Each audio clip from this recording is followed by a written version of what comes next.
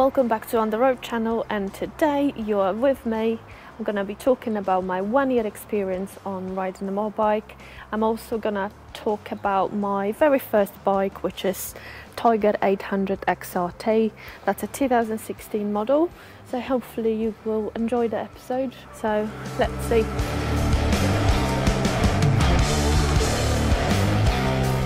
And today I want to talk about my one year experience. So on the 23rd of June, it was a one year anniversary of me actually passing my test. So very pleased about that. I've met my boyfriend um, year and a half ago, and uh, just it, I think it took about two or three times me being a pillion that I've decided, you know what, I actually want to do this as well. So I've booked myself in. It took longer than expected because of some document issues and whatnot. But anyway, in the end, my tests were in June. I passed them all first go. Not that I'm bragging, but um, I just really, really want it, and I've worked so hard for it. It just at the time it felt like I have to do it the first time to prove something to myself if you are capable of passing the test on a big bike, which is a 750 800, usually in a um, test center, mine was uh, BMW GS F750. And I just thought to myself, I cannot now downgrade to a 250 bike just because everyone else says so. Yes, I understand everyone else is more experienced than me, but I just didn't feel like that was the right move for me. So I've got rid of the little V-Strom 250 that I had uh, purchased before I even did my tests and any of that. And then I found myself my Tiger. So at the time when I met my boyfriend and when I was doing my test, I um, he was riding Tiger 900 GT Pro, which I thought is a great bike and um, you know, great for touring. So an adventure bike that is comfortable enough on the road. So um, that influenced my choice of bike. I knew I want something that is adventure ready and easy to ride. At the time of choosing the bike, I knew that I don't want to be on 125 because on the day of my CBT, I felt like I've made a mistake. I cannot control the bike. This is horrible. Only the second day of my course, when they put me on a slightly bigger bike, um, I've understood that the 125 is actually not that easy to manage. I was very wobbly on it. I couldn't complete a figure of eight without putting my leg down. Where when I was on the 800 bike, it was a completely different experience. It felt like, yes, the bike is big, yes, the bike is heavy, but I have control. I can easily do what I need doing. And at the same time, I had this reassurance that if I was to get myself in trouble or something's going on on the road that I need to get away, I've got enough power to do so. So that was one of the main reasons I thought riding a small bike is not as safe as people think it is. So I don't want to do that. Just not for me. So my Tiger 800 XRT got the things that I really care about, which is heated grips, heated seat, I've got all the other ABS stuff, and half of it I don't understand. There is a road mode, rain mode, and whatever mode which I've never even touched. I still haven't changed my clock. I don't know. I forgot how to do it, and f- frankly, I don't have the patience to fiddle with it. But it's got everything that I need. You know, I've done 15, just over 15,000 miles on this bike alone in 12 months at the start, I had few moments of doubt, thinking, God, I've made a mistake. What am I doing? I'm not capable of riding. But at the same time, I just thought myself, you know, it's all down to practice, how many miles you do. Um, and that the confidence and the knowledge and the skill comes with time. We had a trip planned to Alps uh, on a motorbike before I even did my test, and it was never the plan for me to ride my own bike.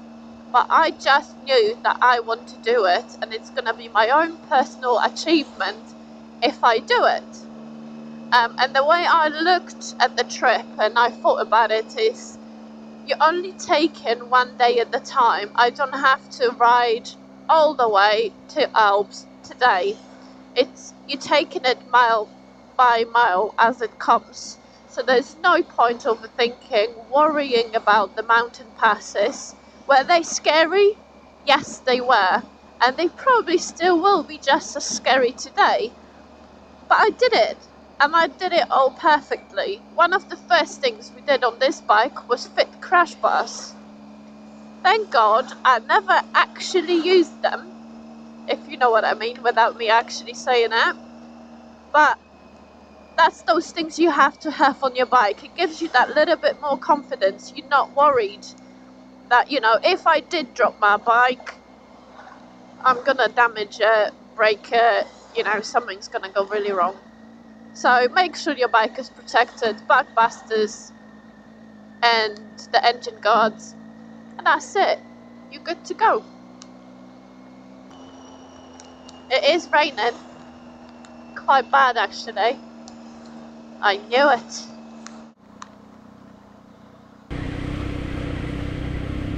Just need to hide. Uh oh.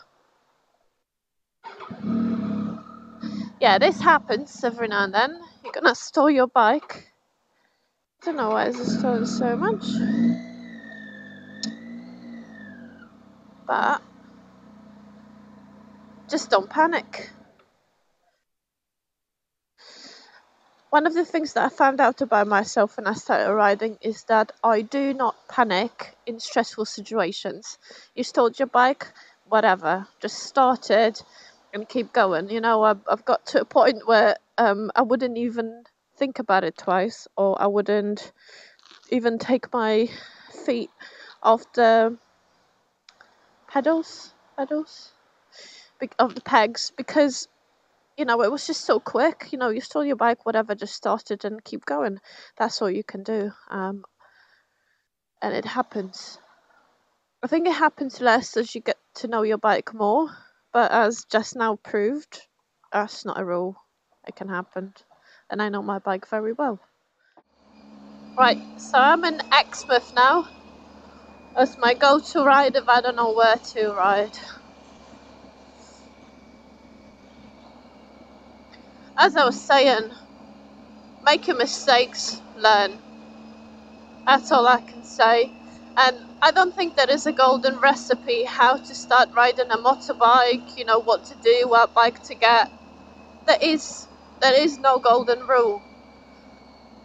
I would definitely say what helped me is to have a really comfortable adventure bike. Um, another thing very important is my boyfriend who knows a lot about riding and he was with me. Uh, you know, I could ask him stuff. Um, and he was always giving me good advice. Also, I've got loads of friends because of him that are bikers, and I like listening to their advice, and some of it was very valuable. Um, so, as I said, don't panic. Think things happened, and they will happen.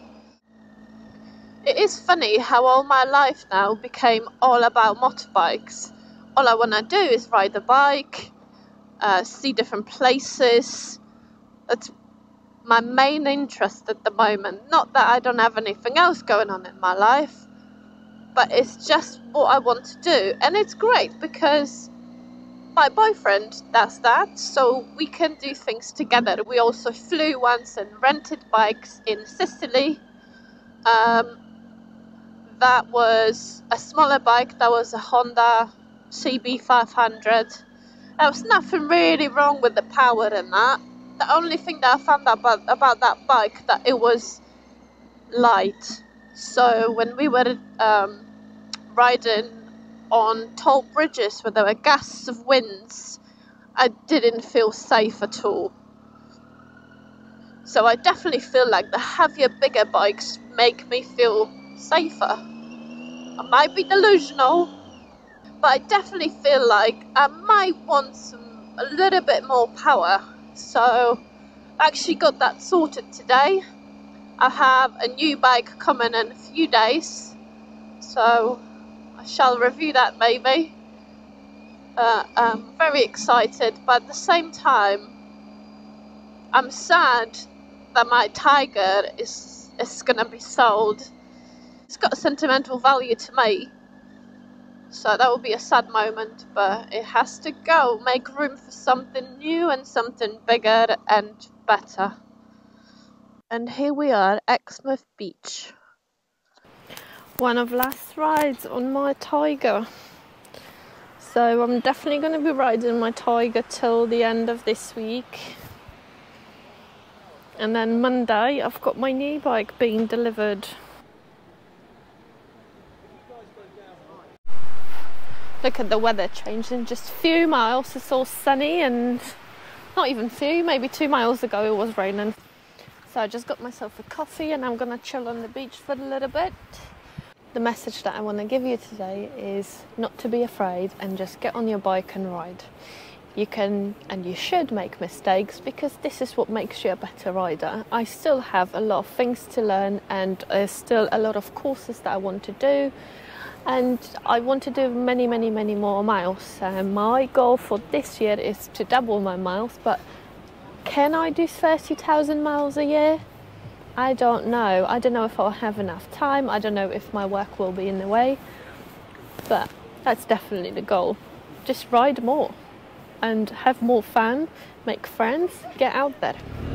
Thank you for joining me on the road and remember to subscribe so I can see you again for the next video.